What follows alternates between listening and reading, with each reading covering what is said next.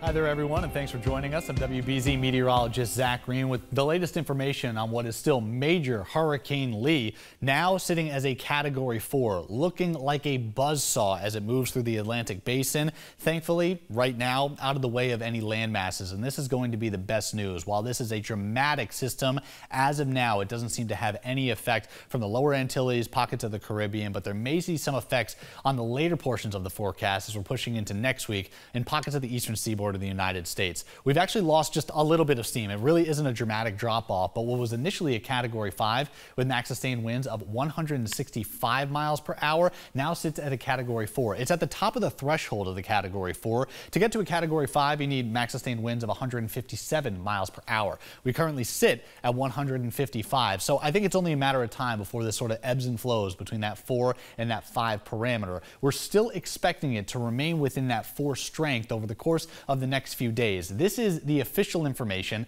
from the National Hurricane Center, just a division of the National Weather Service and NOAA. And you notice it's Saturday morning, it's Sunday morning, it's early next week, but these are 24 hour snapshots. And we get updates every three hours on a system of this magnitude. So again, it's suggesting four through the official timeline. We may just see it approach that five, if not eclipse it to a point within different areas of that 24 hour window. This again is the a cone of uncertainty and you notice that it's going to the north of Hispaniola as we go into the middle of next week. So by the way, get used to the name of this.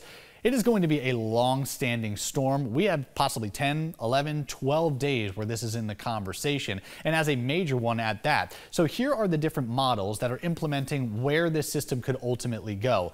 It makes a drastic northerly turn, which is for the better. This is an improving sign in comparison to what could happen if it was lining up with the Bahamas and possibly over into the southern side of the Florida Peninsula. With that northerly track, there are different drivers to ultimately force it one way or another another, which is why we get a very large swath of where the final projection could ultimately be. Whether that's going to be up towards Nova Scotia, seem to impact us here in southern New England, possibly into the mid-Atlantic, or does it take it towards Bermuda and right back out to the North Atlantic and out to sea? That would be the better of the scenarios, more of the effects as it closes in on the eastern side of the United States.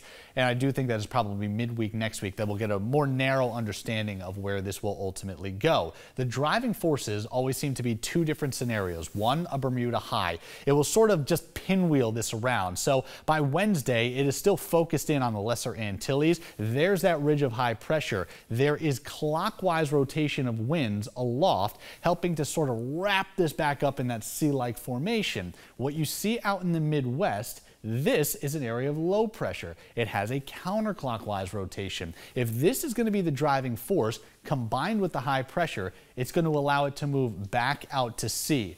How strong is this wave is going to be the determining factor on how close it will ultimately get to coastal United States, possibly here in southern New England, and maybe up into the Canadian Maritime. So we still have a ways to go before we fully understand this system, but it is lining up almost statistically perfect. September 10th is the statistical height of tropical season. We are just two days away from that at this point. So Sunday morning would at least give us that statistical top frame. But hopefully we're going to diminish the concerns from major hurricanes. There is Tropical Storm Margot a little bit farther off to the east. That's going to remain a fish storm and stay out of our way. All the emphasis obviously going to be on Lee, and we will continue to have updates here on WBZ and CBS News Boston.com at any time during the day. So check in there.